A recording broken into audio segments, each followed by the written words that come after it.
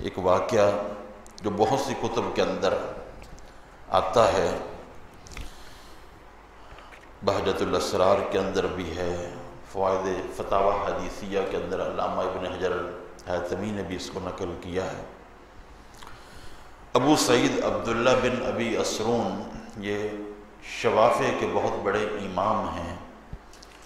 वो कहते हैं कि दखल तो बगदाद फ़ी तलबिलमी मैं बगदाद इल्म हासिल करने के लिए गया। इबन सका मदरसतुलनिज़ामिया के अंदर उन दिनों मेरा साथी था। कुन्ना नतबद नज़ूर सालहीन। हम इकट्ठे इबादत करते थे और अगर पता चलता कहीं कि यहाँ अल्लाह का एक मुकर्रब बंदा है तो उसकी ज़्यारत के लिए भी हाजिर हो जाते हैं। तो कहते हैं, वकाना भी बगदाद रजुल योकालगौस बगदाद में एक आदमी था, जिसे गौस कहा जाता था। यजहर इदा शाह व यख्तफ़ी इदा शाह। वो जब चाहे थे, चाहते थे, सामने आते थे और जब चाहते थे, गायब हो जाते थे। तो वो इमाम शाफिया अबू सईद अब्दुल्ला बिन अबी असरून कहते हैं कि मैंने और वो जो मेरा साथी इबन सका था और हज़रत सैदना शेख अब्दुल कादिर जीलानी रदी अल्लाह तु हम तीनों ने इरादा किया उनकी ज़ियारत का। रस्ते में जा रहे थे कि फ़काल अबनसका लसलन्नहु मसलतन ला यदरी ला जवाबन इबन सका कहने लगा आज मैं उनसे एक ऐसी बात पूछूँगा ऐसा मसला पूछूँगा ला यदरी लहा जवाबन जिसका उनके पास कोई जवाब नहीं होगा मेरा सवाल बड़ा मुश्किल होगा उनके लिए मुस्कित होगा उनके पास उस सवाल का कोई जवाब नहीं होगा। यानी मैं उनको फंसाने के लिए से गोया के जा रहा हूँ। अपने इलम की धाक वहाँ जाकर बैठाऊँगा। पता चलेगा कि कोई बंदा आया है। हज़रत सैदना शेख अब्दुल कादिर जिलानी भी साथ थे और अब्दुल्ला बिन नबी असरून भी अब्दुल्ला बिन नबी असरून कहने लगे लस मसलतन व अनजुरमा यकूल फ़ीहा। सवाल मेरे पास भी है, लेकिन मेरा मकसद उनका इम्तिहान लेना नहीं है। मैं तो उस मसला का हल दरियाफ्त करना चाहता हूँ। मुझे पता चले कि उस मसले का जवाब क्या है। मकसद ये नहीं है कि उनके पास जवाब ही नहीं है अपनी तशफ़ी के लिए। एक सवाल मैं भी अर्ज़ करूँगा। हज़रत शेख शेख सैदना अब्दुल्कर जिलानी ने कहा मादल्ला अन असल शई अन अना बैन यदई ही अन तदिर बरकत रो याती ही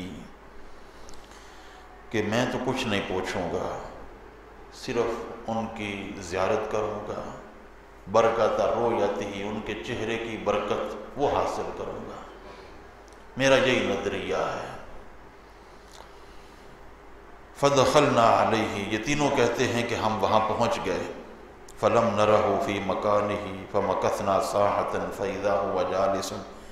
हम पहुँचे तो वहाँ वो मौजूद नहीं थे। थोड़ा हमें इंतज़ार करना पड़ा। थोड़ी देर बाद उनकी जलवा गरी हुई।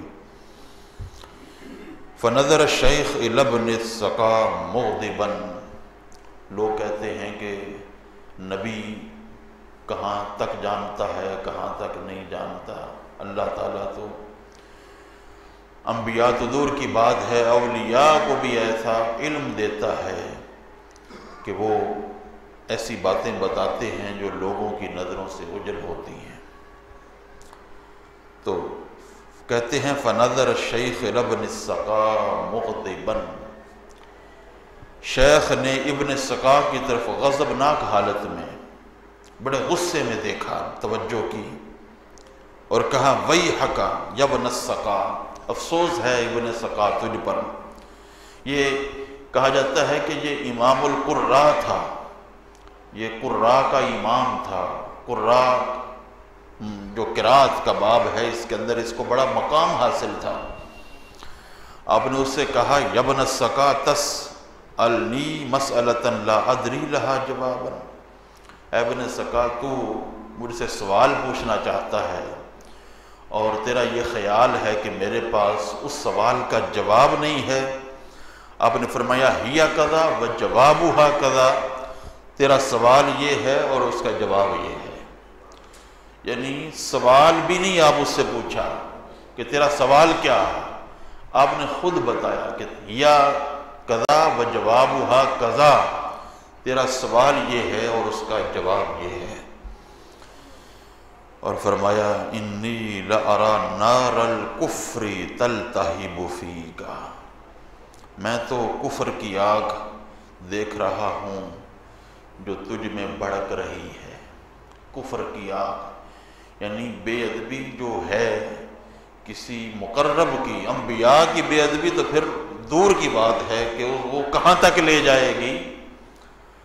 अल्लाह के मुकर्रबीन अलिया कामिलीन, सालिहीन की बेअदबी भी, ये अल्लाह के साथ ऐलान जंग है। ये हदीस कहती है। अल्लाह खुद फरमाता है, हदीस खुद सी है कि मेरा उसके साथ ऐलान जंग है जो मेरे वली के साथ अदावत रखता है, जो मेरे दोस्त के साथ अदावत रखता है। तो आपने कहा, मैं तो कुफर की आग देख रहा हूँ जिस जो तेरे अंदर भड़क रही है। फिर होगा भी ऐसे। वो ईसाई होके मरा। रिवायात में आता है, वो ईसाई होके मरा। वो एक औरत पे फरेफ्ता हुआ। बादशाह, वो क्वेश्चन थी। बादशाह ने कहा कि अगर तो ये दीन ईसाइत कबूल कर ले तो फिर शादी होगी। उसने वो कबूल किया। तबाही हुई। सुम्मा नज़र इलैया। वो अबू सईद अब्दुल्ला बिन असरून कहते हैं, फिर शेख मेरी तरफ़ मुतवजह हुए। कहा, या अब्दुल्ला अब्दुल्ला अतसअलनी अम मसलतिन लतनजुरमाफ़ीहा क्या आप भी मुझसे कुछ पूछना चाहते हैं ताकि मैं उसका जवाब दूँ? आपने फरमाया, हिया हा कदा व जवाब हा कदा तेरा सवाल ये है और जवाब ये है। सवाल उनसे भी नहीं पूछा। खुद बताया और आपने फरमाया लतखिर दुनिया अलई का दुनिया टूट पड़ेगी तुझ पर, इला शहमती उदनई का कानों की लो तक दुनिया के अंदर तो गर्क हो जाएगा, फंस जाएगा। दुनियावी मामला के अंदर तो घिर जाएगा। वो भी एक वजारत के अंदर फंस गए। और आप जानते हैं कि वजारत बंदे को कहाँ ले जाती है। तो जो उन्होंने कहा, उनके साथ भी वही हुआ। और फिर हज़रत सैदना शेख अब्दुल कादिर जिलानी रदी अल्लाह तह की तरफ़ मुतवजह हुए। व अदना मिन हो व अक्रमा हो उनको अपने करीब लाया, बुलाया, व अक्रमा हो उनकी इज़्ज़त की और कहा, या अब्दुल कादिर, लकद अरदई तल्लाह व रसूल ए अब्दुल कादिर, तूने अल्लाह और उसके रसूल को राज़ी कर लिया है। वजह बेहसन अदबी का, जो तेरे अंदर हुसन अदब है, वो तुझे इस मकाम तक लेके आया है। तो उन्होंने कहा, मैंने कुछ नहीं पूछना, मैंने तो उनकी ज्यारत करनी है, मैंने तो उनके चेहरे की बरकत देखनी है। तो हुसन अदब के साथ उन्हें अल्लाह और उसके रसूल को राज़ी कर लिया है। का अन्नी अरा का भी बगदाद। वो कहते हैं, मैं देख रहा हूँ, बगदाद में एक दिन ऐसा होगा वक़द सईतल कुर्सी या मुतकलमन अलल मलाई।